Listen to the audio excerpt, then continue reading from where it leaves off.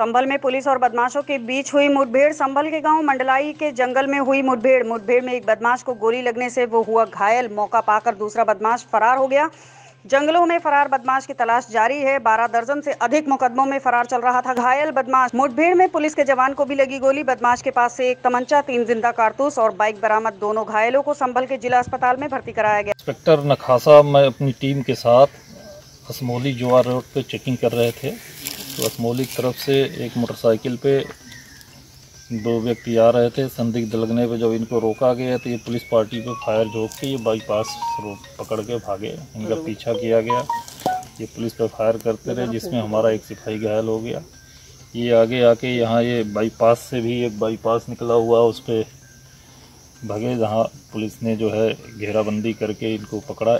एक इसमें से जो है जंगलों का फ़ायदा उठा के भाग गया। जो पकड़ा गया है, उसका नाम दानिश सना बाबू है, जिस पे दो दर्जन से अधिक मुकदमे हैं, लूट के, डकैती के, गोकसी के। ये मुरादाबाद के विभिन्न थानों से जो है, ये मुकदमे हैं इसके ऊपर पंजीकृत। इसके बारे में और डिटेल जानकारी की जा रही है। इसको अस्पताल भिजवाया गया घायल सिपाही को भी अस्पताल भेजा गया। आगे कार्रवाई की जा रही है। ठीक है।